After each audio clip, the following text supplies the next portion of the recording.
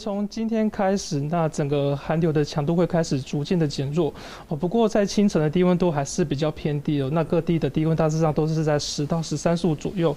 那以今天的一个最低温来讲的话，那是如果说是以人工测站的话，是在淡水是只有九点八度。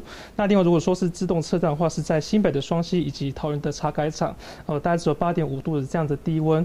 那我们预计虽然说在冷空呃寒流是逐渐减弱的一个过程哦，哦，不过其实在后面一直到四号。来讲的话，呃，由于有一些呃辐射的确实作用，所以到时候在西半部。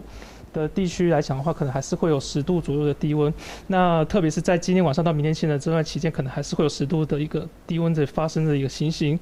哦，那至于降雨的一个部分来讲的话，在四号以前，哦，冷气呃寒流是逐渐减弱的一个过程。然后主要的雨区都还是集中在大台北跟东半部地区。那其中在二号来讲的话，呃，在东北部，尤其在宜兰跟东北角这一带，可能会有些局部较大雨势发生的几率。那也请这些地方朋友要多加留意这个呃。一个天气上的一个变化，那至于其他地方来讲的话，则还是维持多云到晴的天气。那下一波的一个东北季风增强时间也预计是落在五号。的一个时候，然后一直影响到六号。